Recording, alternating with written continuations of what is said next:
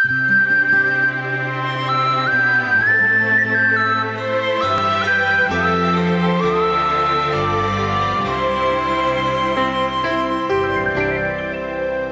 कि आप सबको मालूम है कि हम इन दिनों बाइबल में से प्रकाशित वाक्य की पुस्तक से अध्ययन कर रहे हैं, जो बाइबल की अंतिम पुस्तक है। मित्रों, आज हम अपने अध्ययन में आगे बढ़ते हुए प्रकाशित वाक्य की पुस्तक 20 अध्याय से अध्ययन को जारी रखेंगे।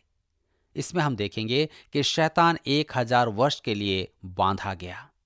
अध्याय 20 के आरंभिक पद हज़ार वर्षीय राज्य के पूर्व की घटना का वर्णन करते हैं। आइए हम पढ़ें प्रकाशित वाक्य की पुस्तक 20 अध्याय उसके एक से तीन पद। यहाँ पर इस प्रकार से लिखा हुआ है, फिर मैंने एक स्वर्गदूत को स्वर्ग से उतरते देखा, जिसके हाथ में अताह कुंड की कुंजी और एक बड़ी जंजीर थी। उसने उस अजगर अर्थात पुराने सांप को, जो इबलिस और शैतान है, पकड़ के हज़ार वर्ष के लिए बाँध दिया और उसे अतः कुंड में डालकर बंद कर दिया और उस पर मुहर लगा दी कि वह हज़ार वर्ष के पूर्व होने तक जाति जाति के लोगों को फिर न भरमाए। इसके बाद अवश्य है कि वह थोड़ी देर के लिए फिर खोला जाए। मेरे मित्रों, यहाँ आप देखेंगे कि पद एक से तीन में हज़ार वर्ष का उल्लेख दो बार आया है। अध्याय बीस में छह बार इसका उल्लेख किया गया है। यह सच है कि हज़ार वर्ष का उल्लेख केवल अध्याय बीस में ही है, परंतु परमेश्वर छह बार इसका उल्लेख करता है। परमेश्वर को कोई बात कितनी बार कहनी होती है, जो भी हो वह सच हो। वह उन अन्य बातों की तुलना में जिन्हें मनुष्य एक या दो बार ही धर्मशास्त्र में देखकर महत्वपूर्ण कहकर बल देता है। उससे तो कहीं अधिक परमेश्वर एक हज़ार वर्ष का उल्लेख यहाँ करता है। हज़ार वर्षों का उल्लेख छह बार किया गया है और इस बार यह समय शैतान के संदर्भ में है। कुछ टीकाकार इस घटना को हज़ार वर्षीय प्रभु राज से अलग करके यहवा के प्रकोप के दिन के अंत से जोड़ते हैं। इस विचार के कारण पृथ्वी पर से शैतान के हटाए जाने के कारण उत्पन्न हुए उस विभाजन को भी गंभीरता में कम लाते हैं। कहने का अर्थ यह है कि इस विभाजन के कारण उस गंभीरता में दबाव कम आता है। उसका बंदी बनाया जाना, किसका? शैतान का। और पृथ्वी से हटाया जाना परिस्थिति को अंधकार से ज्योति में बदल देता है। वह इस युग का ईश्वर है और वह आकाश के शक्तियों का शासक है तथा इस संसार पर उसका प्रभाव और अधिकार असीमित है, जिसे कोई कंप्यूटर भी नहीं आंक सकता है। उसका हटाया जाना प्रभुराज का मार्ग तैयार करता है। क्योंकि उसके स्वच्छंद घूमने से पृथ्वी पर प्रभु राज स्थापित नहीं हो सकता है। अतः हम देख सकते हैं कि शैतान का प्रभु राज से संबंध इस प्रकार है कि उससे प्रभु राज के आगमन से पूर्व पृथ्वी पर से हटाया जाना अति आवश्यक है। मनुष्य पृथ्वी पर शांति स्थापित करने की बात करता है, समृद्धि लाने आदि की बात करता है और अनेक विषयों की चर्चा भी करता है। परंतु यह सांसारिक व्यवस्था अंततः ख्रिस्त विरोधी में जाकर समाप्त होगी। परंतु वह भी शांति और समृद्धि नहीं लाएगा, जबकि कुछ समय के लिए ऐसा प्रतीत होगा कि वह शांति और समृद्धि का राजकुमार है। परंतु इस पृथ्वी पर शैतान के रहते आदर्श लोक की स्थापना नहीं हो सकती है। उसके स्वतंत्र रहते हुए आप आदर्श राज्य नहीं देख सकते हैं। इसलिए लिखा है, फिर मैंने एक स्वरदूत को स्वर्ग से उतरते देखा। कहता है, आगे उसे पकड़ के हज़ार वर्ष के लिए बाँध दिया। शैतान का सामर्थ कम हो जाएगा, क्योंकि एक साधारण स्वर्गदूत ही उसे बाँध कर बंदी बना लेगा। आप देख सकते हैं, यहूदा की पत्री एक के नौ पद में, प्रकाशित वाक्य बारह अध्याय उसके सात से नौ पद में। यहाँ लिखा है अताह कुंड इसे अधोलोक कहें तो अधिक उचित होगा। यह पद दस में व्यक्त आग की झील नहीं है। तब आगे देखते हैं, इसके बाद अवश्य है कि वह थोड़ी देर के लिए फिर खोला जाए। धर्मशास्त्र का यह अंश समझ से परे है। एक बार परमेश्वर ने उसे बंदी बना दिया तो फिर उसे मुक्त करने की क्या आवश्यकता है? इस प्रश्न के लिए डॉक्टर लुइस स्पेरी शाफर का उत्तर अति महत्वपूर्ण है। यदि आप मुझे पहले यह बताएँ कि परमेश्वर ने उसे मुक्त क्यों किया तो फिर मैं बताऊँगा कि परमेश्वर ने उसे क्यों मुक्त किया। उसकी मुक्ति में परमेश्वर का एक महान उद्देश्य है। बुराई की एक बड़ी समस्या यही है, परमेश्वर उसे होने क्यों देता है? मेरा मानना तो यह है कि परमेश्वर एक महान योजना को पूरा कर रहा है। जो परमेश्वर का एक भेद है, जिसका खुलना अभी बाकी है। एक दिन यह भेद प्रकट होगा। वह हमें केवल विश्वास में जीने के लिए कहता है। हमें परमेश्वर में भरोसा रखना है और जान लेना है कि वह जो भी करता है, सही करता है। एक बार जब मैं छोटा था, तब अपने पिता के साथ जा रहा था कि बड़ी आंधी उठी और मैं बहुत डर गया। पानी भी बरस रहा था और हम बहुत गीले हो गए थे। मुझे आज भी याद है कि मेरे पिता ने अपनी बाहें मेरे कंधे पर रखी और कहा, पुत्र, मुझ पर भरोसा रख। और मैं उससे लिपट गया। इस प्रकार हम आंधी का सामना करते हुए पार लगे।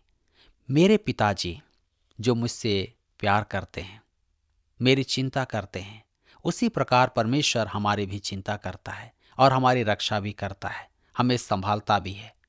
मेरे प्रियो जीवन की आंधियों में हम अपने पिता के साथ पार हो सकते हैं। काश मैं आपको जीवन के समस्याओं का समाधान सुझा पाता। परंतु नहीं, मैं असमर्थ हूँ। अतः हम अपने प्रभु परमेश्वर में भरोसा रखें, संसार में नहीं, क्योंकि वही हमारा उद्धार करता है। एक बार मैंने बुराई की समस्या पर एक पुस्तक पढ़ी, परंतु उस पुस्तक को पढ़ लेने के बाद भी बुराई की समस्या थी। लेखक के पास इसका समाधान नहीं था। उसने 200 पृष्ठों में वही कहा जो मैं एक वाक्य में कह सकता हूँ। मेरे पास बुराई की समस्या का समाधान नहीं है, परंतु मेरे मित्रों, विश्वास का जीवन जीने पर एक दिन हमें इसका समाधान मिल जाएगा। परमेश्वर ने शैतान को एक हज़ार वर्ष के लिए बंदी बनाया कि उसके बिना एक हज़ार वर्ष को प्रभु राज्य आए, लोग देखें। और जाने महाक्लेश के भक्त जन प्रभु यीशु के साथ एक हज़ार वर्ष राज्य करते हैं। हम प्रकाशित वाक्य की पुस्तक बीस अध्याय, उसके चार से छह पद में आगे पढ़ते हैं। लिखा है, फिर मैंने सिंहासन देखे और उन पर लोग बैठ गए और उनको न्याय करने का अधिकार दिया गया। मैंने उनकी आत्माओं को भी देखा, जिनके सिर ईश्वर की गवाही देने और परमेश्वर के वचन के कारण काटे गए थे और जिन्होंने न उस पशु की और न उसकी मूर्ति की पूजा की थी, और न उसकी छाप अपने माथे और हाथों पर ली थी। वे जीवित होकर मसीह के साथ हज़ार वर्ष तक राज्य करते रहे। धन्य और पवित्र वह है, जो इस पहले पुनरुत्थान का भागी है। ऐसों पर दूसरी मृत्यु का कुछ भी अधिकार नहीं, पर वे परमेश्वर और मसीह के याजक होंगे और उसके साथ हज़ार वर्ष तक राज्य करेंगे। महाक्लेश में अनेक जन प्रभु यीशु के लिए अपनी जान गंवाएँगे, अर्थात शहीद होंगे। परंतु वे फिर जी उठेंगे और प्रभु यीशु के साथ एक हज़ार वर्ष राज करेंगे। महाक्लेश के भक्त जन साढ़े तीन वर्ष कुचले जाएँगे कि एक हज़ार वर्ष का लाभ उठाएँ। मैं तो कहूँगा कि उनका यह सौदा बहुत अच्छा है। वे साढ़े तीन वर्ष अति कष्टकारी होंगे, परंतु हज़ार वर्ष अति उत्तम समय होगा। मेरे प्रियो, कल्पना कीजिए, प्रभु विश्व के साथ पृथ्वी पर एक हज़ार वर्ष आप राज्य कर रहे हैं। आपको कैसे लगेगा? यह भविष्यवाणी धर्मशास्त्र की अन्य किसी भी भविष्यवाणी के समान है। दूसरा पत्रस की पत्री एक अध्याय के बीस पद में लिखा है, पर पहले यह जान लो कि पवित्र शास्त्र की कोई भी भविष्यवाणी किसी के अपने ही विचारधारा के आधार पर पूर्ण नहीं होती। अर्थात, आप धर्मशास्त्र से किसी एक पद को लेकर उस पर सिद्धांत स्थापित नहीं कर सकते हैं। आपको धर्मशास्त्र के अन्य संदर्भों से उसे जोड़ना अति आवश्यक है। अतः ये पद वास्तविक तथ्यों का सम्मानित उल्लेख माना जाए तो यह तर्क सम्मत होता है और भविष्यवाणी की संपूर्ण योजना के साथ संयोजित होता है, जिसे हम देखते आ रहे हैं। इसे आकर्षक चिन्ह एवं प्रतीक मानना इसे निरर्थक बना देता है। इसे शब्द जाल में बुनने का अर्थ है, इसे वास्तविक अर्थ से वियुक्त कर देना, दूर कर देना। और धर्मशास्त्र की व्याख्या को व्यर्थ कर देना। मेरे मित्रों, सिंहासन वास्तविक है, शहीद वास्तविक है, प्रभु यीशु वास्तविक है, परमेश्वर का वचन वास्तविक है, पशु वास्तविक है, मूर्ति वास्तविक है, पशु का चिन्ह भी वास्तविक है, माथे और हाथ वास्तविक हैं और हज़ार वर्ष भी वास्तविक समय है। कुछ वास्तविक है। हज़ार वर्ष का अर्थ हज़ार वर्ष है। यदि परमेश्वर का इससे अभिप्राय अनंत काल होता तो वह इसे स्पष्ट करता। क्या परमेश्वर अपना अर्थ स्पष्ट करने योग्य नहीं है? निश्चय ही वह योग्य है, और जब वह कहता है एक हज़ार वर्ष तो उसके कहने का अर्थ भी एक हज़ार वर्ष ही है, क्योंकि वह हमारे लिए है। मूल भाषा यूनानी में पुनरुत्थान का अर्थ है खड़ा हो जाना, शरीर का खड़ा होना। आत्मा के लिए सीधा खड़ा होना कठिन है। जो इसे आत्मा का पुनरुत्थान कहते हैं, वे आत्मा के खड़े होने को नहीं समझा सकते। पॉलुस भी पहला क्रंथियों की पत्री, पंद्रह अध्याय में प्रवेश और विश्वासियों के पुनरुत्थान के लिए यही शब्द काम में लेता है। तब हम पढ़ते हैं, फिर मैंने सिंहासन देखे और उन पर लोग बैठ गए। यह स्पष्ट कथन नहीं है, ये लोग कौन हैं?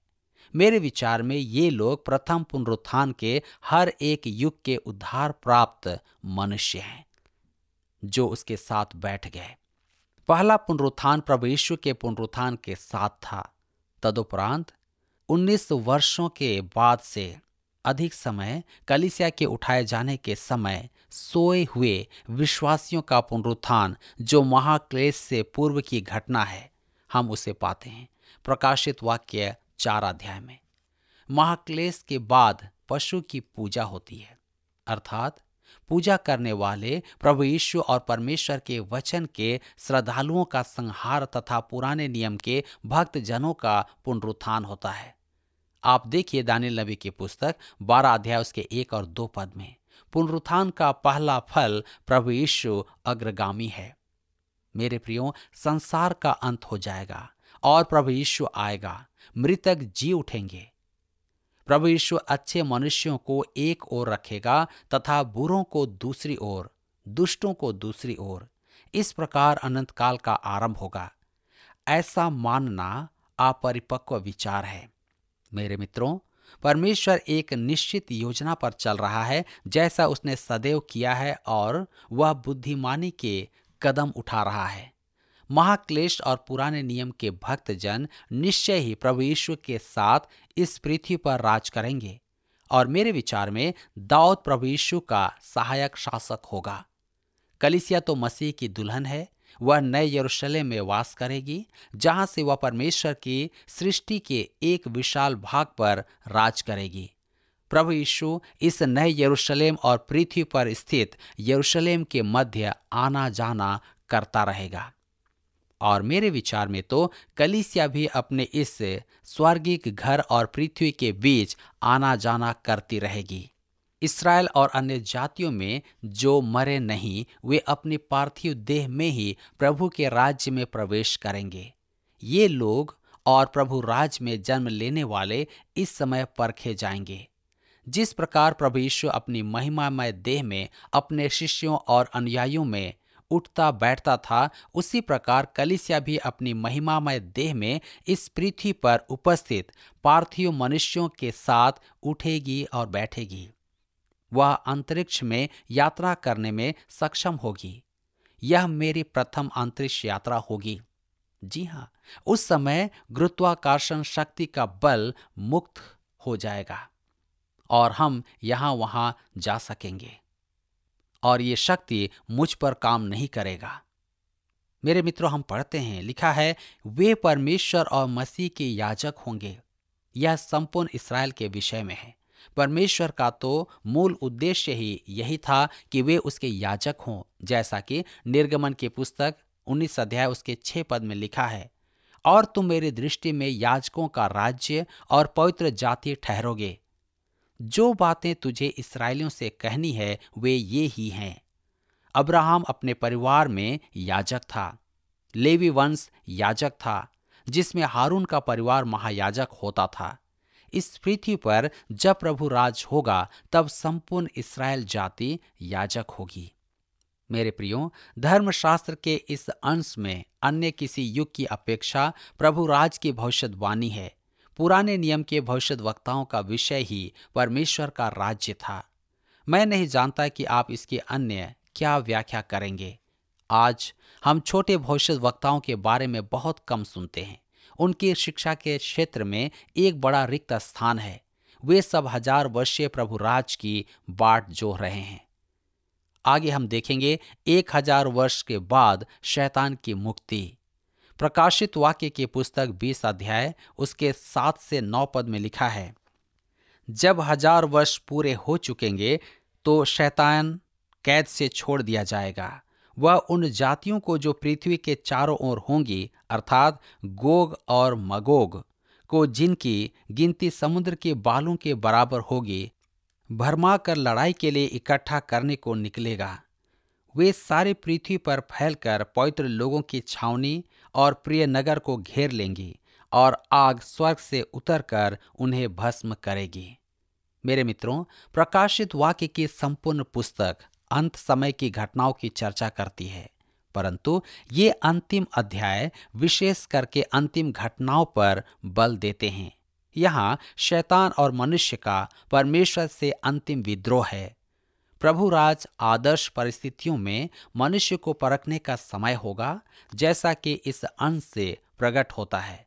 उस समय ज्यों ही शैतान मुक्त किया जाएगा, त्यों ही प्रभु यीशु के राज के अधीन आदर्श परिस्थितियों में रहने वाले मनुष्य का एक बड़ा समुदाय उसकी ओर फिर जाएगा।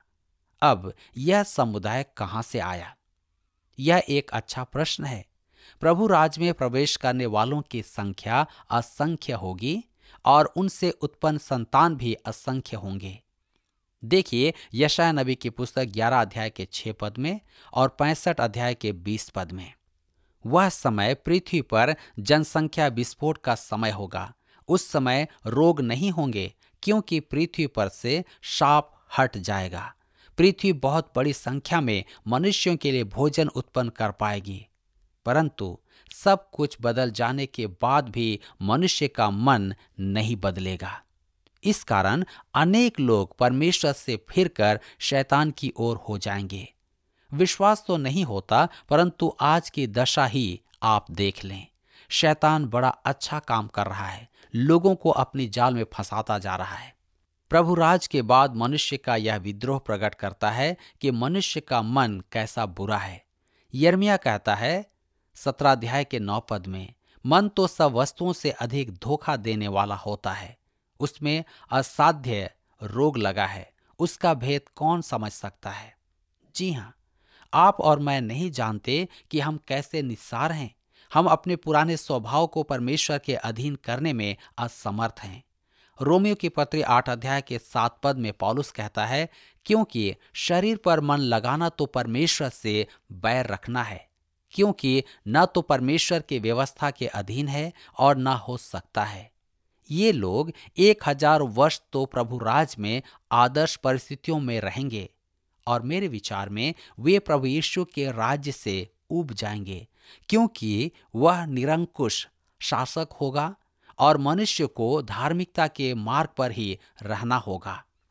वे इसे पसंद नहीं करेंगे और अवसर पाते ही विद्रोह कर देंगे। पृथ्वी की जातियाँ शैतान के जाल में फंस जाएँगी और विद्रोह का षड्यंत्र रचेंगी। इसलिए लिखा है, गोग और मागोग। अनेक बाइबल विद्यार्थी इसे यहजकेल नबी की पुस्तक 38 और उनतालीस अध्याय का गोग मागोग समझ बैठते हैं। यह संभव नहीं है, क्योंकि यह विद्रोह समय, स्थान और सहभागियों में उसके तुल्य नहीं है। केवल नाम एक से हैं। यहजकेल नबी की पुस्तक 38 और उनतालीस अध्याय में गोग और मागोग का उत्तर दिशा से आक्रमण करके ख्रिस्त विरोधी की शांति भंग करना है, जिसके कारण वह महाक्लेश के मध्य हाथ उठा देगा। इस विधर्मी आक्रमण का प्रभाव मनुष्यों पर ऐसा होगा कि एक हज़ार वर्ष के बाद भी मनुष्य का अंतिम विद्रोह उसी नाम से पुकारा जाएगा और वह है गोग और मागोग। मेरे प्रियो, पहले महायुद्ध का प्रभाव ऐसा था कि जब दूसरी बार महायुद्ध हुआ तो उसे द्वितीय महायुद्ध कहा गया और अब मनुष्य को तीसरे महायुद्ध की प्रतीक्षा है। मैं इसका व्यक्तिगत उदाहरण देता हूँ। एक परिवार में अनेक लोगों का नाम जॉन था। अतः जब किसी परिवार में एक बालक का नाम जॉन रखा गया। तब उसकी माता ने उसे केवल जे पुकारा कि वह अन्य सबसे अलग हो जाए। यहजकेल नबी की पुस्तक 38 और उनतालीस अध्याय में गोग और मागोग का युद्ध प्रथम युद्ध है और प्रकाशित वाक्य की पुस्तक 20 अध्याय के आठ पद का युद्ध गोग और मागोग द्वितीय युद्ध है। नाम यद्यपि एक ही है, यह युद्ध पूर्णतः एक भिन्न युद्ध है। जी हाँ शैतान का अंतिम विद्रोह है। दोनों युद्धों का एक ही नाम होने का अर्थ यह नहीं है कि युद्ध भी एक ही है। मेरे प्रियो, पद नौ में अंतिम परमाणु बम गिराया जाएगा। कहने का अर्थ है कि जिन प्राकृतिक शक्तियों द्वारा गोग मागोग प्रथम का नाश हुआ था, वही प्राकृतिक शक्तियाँ गोग मागोग द्वितीय को नष्ट करेंगी। परमेश्वर के विरुद्ध यह अंतिम विद्रोह वैसा ही निष्फल रहेगा। जैसा अदन की वाटिका का प्रथम विद्रोह था।